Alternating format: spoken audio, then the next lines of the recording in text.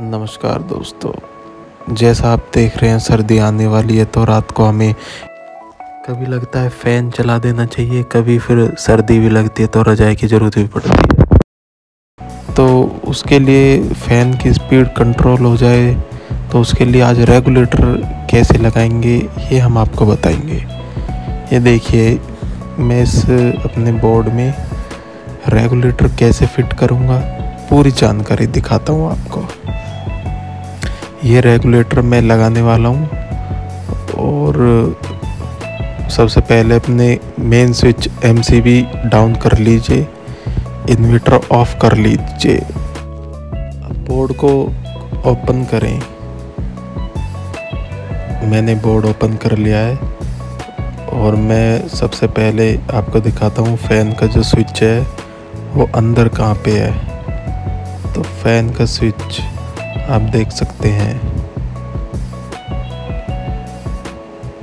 नीचे एफ़ लिख रहा है, जहाँ पे ये फ़ैन का स्विच है। और ये बीच वाली रो में सेकंड है। तो मैं ऊपर देखूँगा। बीच वाली रो में सेकंड ये ये फ़ैन का है। तो सबसे पहले हमें और ये जो स्विच है, मैं ऊपर दिखा रहा हूँ, ये फ्री रहता है मेरा। इसका कोई यूज़ नहीं होता कभी। तो इसी में मैं रेगुलेटर फिट करूँगा आज। तो ये कभी यूज़ नहीं होता। तो सबसे पहले ये हमें निकालना होगा। तो इसके लिए मैं इसे ओपन करता हूँ अभी।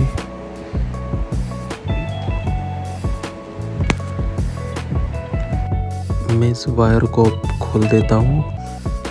लेकिन इसका कुछ काम नहीं है तो इस पर टेप लगा के इसको ऐसे ही छोड़ देंगे बोर्ड के अंदर। लेकिन टेप ज़रूर लगा दे, वरना ये शॉर्ट हो जाएगा कहीं।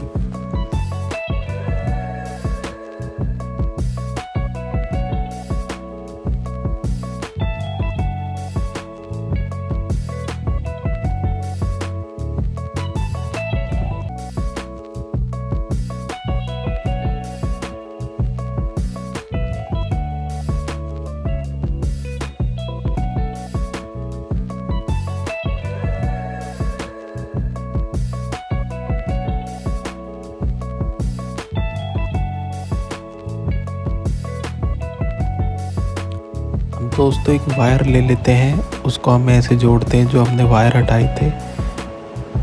अब इस वाले से दूसरे स्विच को जोड़ देते हैं। क्योंकि अर्थिंग वायर होता है कॉमन होता है। और बीच वाला स्विच निकाला है तो इसलिए अब इनको जोड़ना है तो तार के थ्रू ही जोड़ना पड़ेगा। अब देखिए दोस्तों, अब ये मुझे निकालना पड़ेगा, मैं निकाल दिया। ये रहा स्विच। अब यहाँ लगाना है मुझे रेगुलेटर। तो चलिए दोस्तों, अब रेगुलेटर इसमें पहले फिट करते हैं। दोस्तों, अगर रेगुलेटर थोड़ा बहुत फिट ना आए तो उसको थोड़ा एडजस्ट करें। आरी वगैरह से, प्लास से, थोड़ा सा उसका काट लें। तो फिट आ जाएगा वो। कटिंग थोड़ी होती है, थोड़ी बहुत तो ज़रूर करनी पड़ती है। अब ये फिट हो गया है इसमें। मैं बताता हूँ आपको कैसे फिटिंग होगी वायर की। सबसे पहले तो वो वायर जो हमने हटाए थे, उन्हें ऐसे ही लगा दें जैसे हमने हटाए थे। इन्वर्टर का नीचे था, नीचे से लगा दिया वहीं।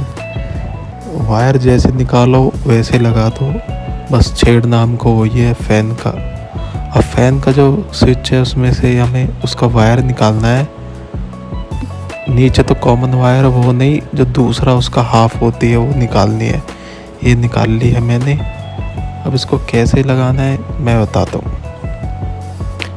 अब जो रेगुलेटर में दो वायर है तो एक वायर में तो फ़ैन का वायर लग जाएगा ऐसे।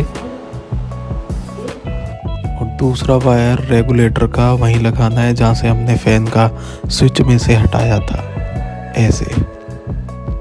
जैसे मैं आपको वीडियो में दिखा पा रहा हूँ तो यहाँ पे मैंने टेपिंग कर दी है। मैंने वायर लगा दिए हैं, अब हम इसको टेस्ट करते हैं। हम देखो यहाँ पे एमसीबी ऑन करें। अब देखो, ये ज़ीरो पे है, मैं इसे वन पे कर देता हूँ। और फ़ैन देखो मोशन करने लगा।